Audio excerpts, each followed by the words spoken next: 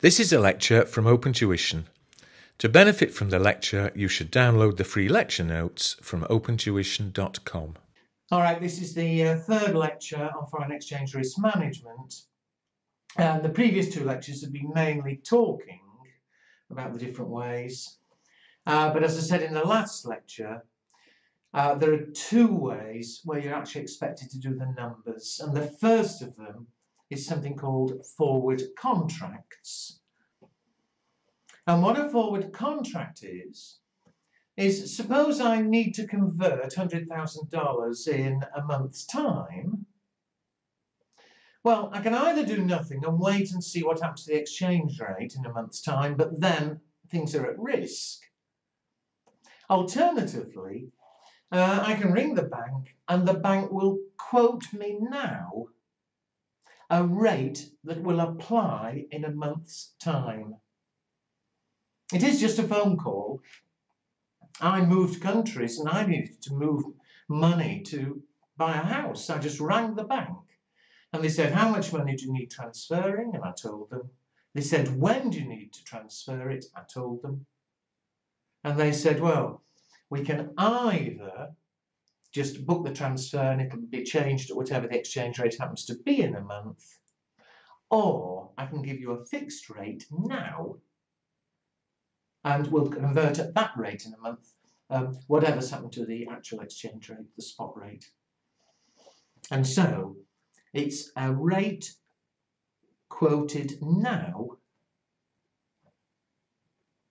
today, to apply to a fixed amount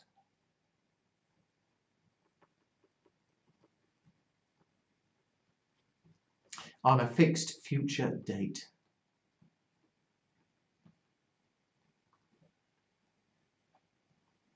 We don't convert any sooner. You know, today I make the phone call, they fix a rate.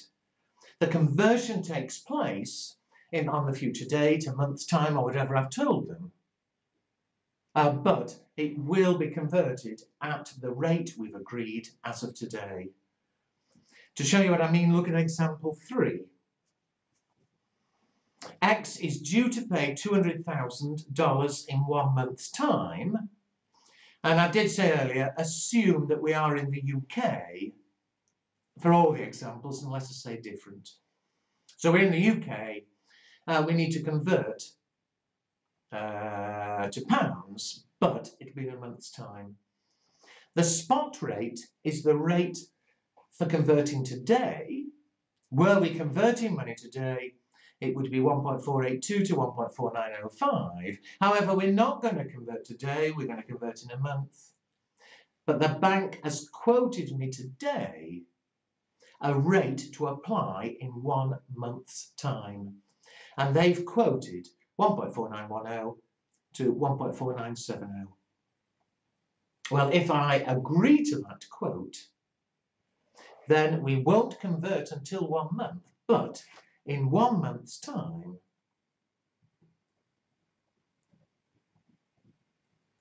we have to convert at the rate we've agreed today. And how much is it? It's 200,000. Uh, it's quoted dollars to the pound, so we'll divide by the relevant rate. And uh, since we're paying dollars, we'll need to buy dollars. Uh, we'll convert at the lower rate, 1.4910. And so 200,000 divided by 1.4910 is 134138. And whatever happens to the actual exchange rate is completely irrelevant. This is fixed in one month's time.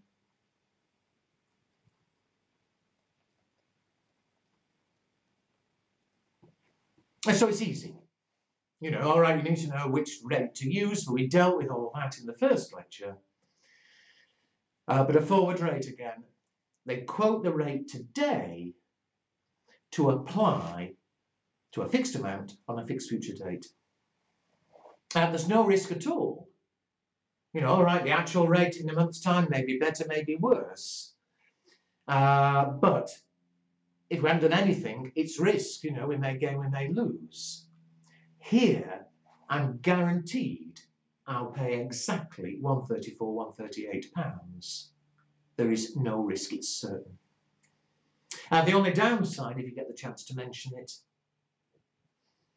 uh, is that it is a fixed amount at a fixed date. So um, if it turns out that we need to pay it oh, in three weeks' time, or in five weeks' time, we've got a problem. Uh, or if the amount for some reason changes, we've got a problem. We have to convert at that rate on that much money in one month. You know, and if, suppose for some reason I didn't need to make the payment, but it's too late, I'm going to have to convert. And, and I, we don't need those dollars, the $200,000. So then I'd have to convert back at the, um, whatever the exchange rate happened to be. So that's the downside. But if you're certain about um, the amount and the timing, then fine, there is no risk at all.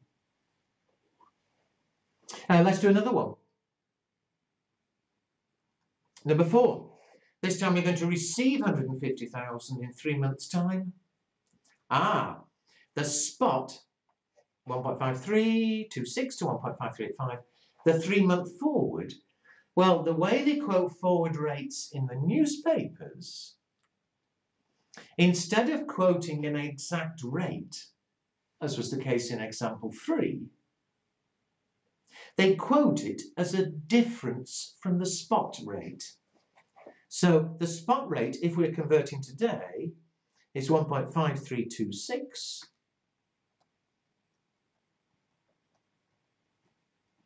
to 1.5385. But again, instead of quoting this forward rate here for three months' time, instead of quoting the exact rates, the papers quote it as a difference, the difference from spot.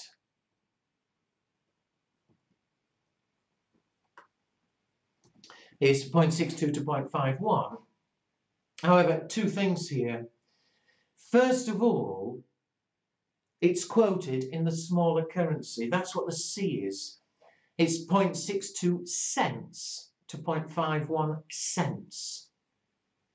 Well, 0.62 cents is 0.0062 dollars. And 0.51 of a cent, well, one cent is 0.01 dollars, 0.5 cents is 0.0051 dollars. So that's the first trick. The second is, well, the forward rate, that's the difference from spot. So the question is, to get the forward rate, are we going to add 62 or subtract it? Well, that's what the words at the end uh, mean. It says PUM, which stands for premium. I'll tell you afterwards what the alternative is. Well, premium makes it sound as though you add it. But in fact, I'll tell you why this is the case after. But if it's quoted at a premium, to get the forward rate, we subtract it from spot.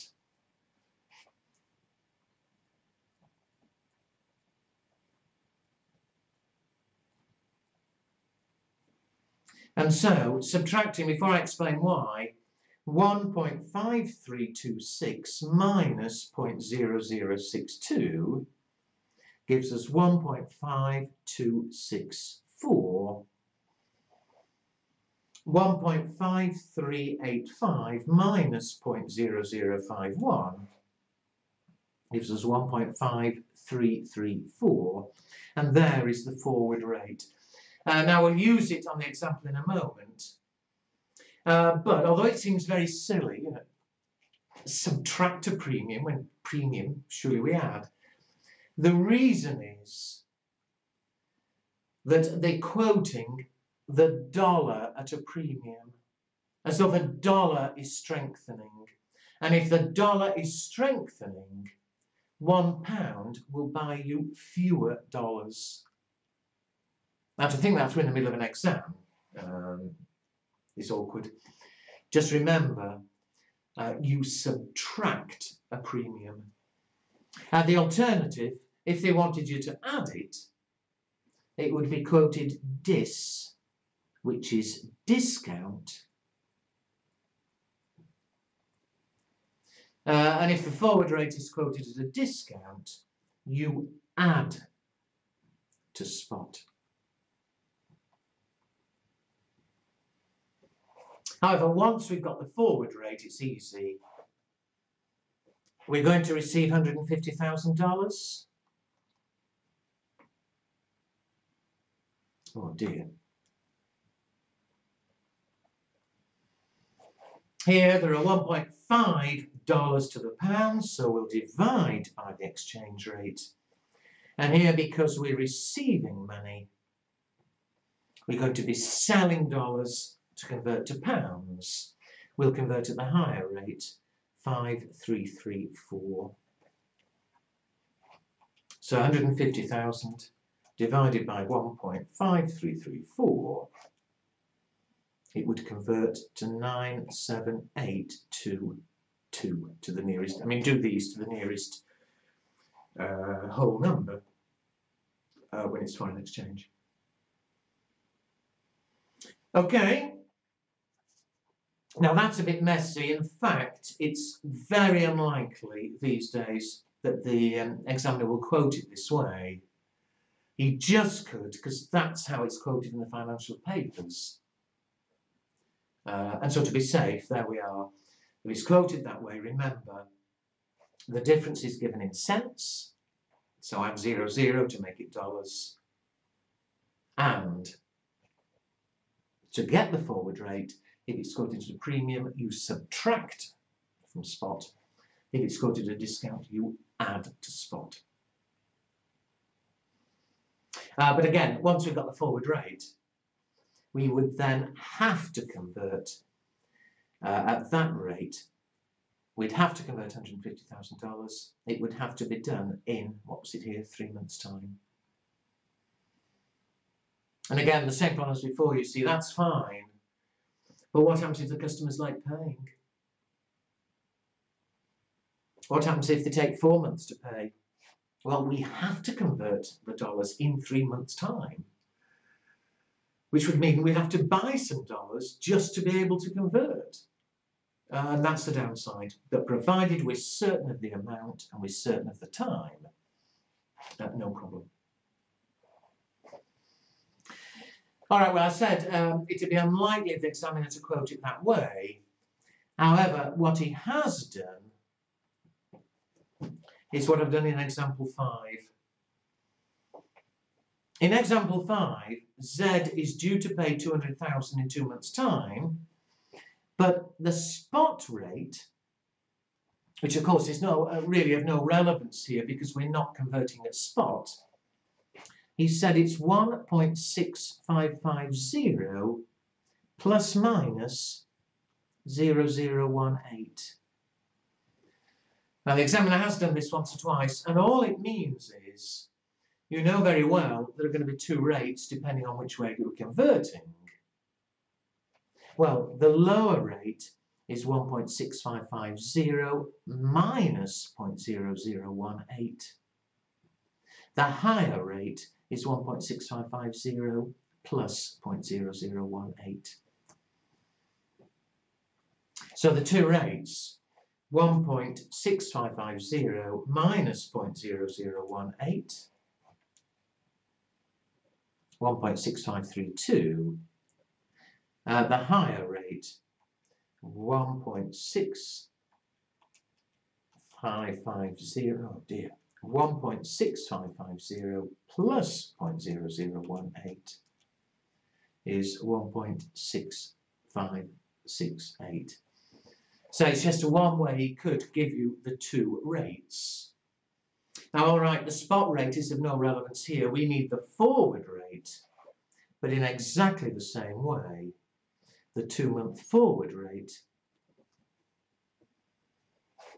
at 1.6623 minus 0.0020, so the lower rate is 1.6603. The higher rate, 1.6623 plus 0.0020 at 1.6643.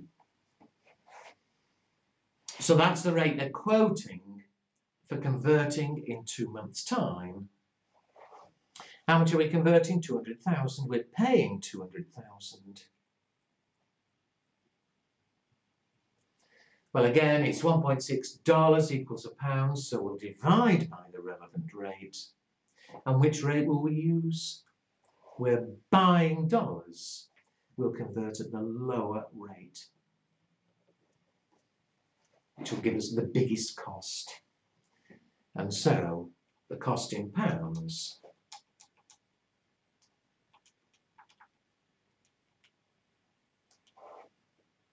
uh, 120460.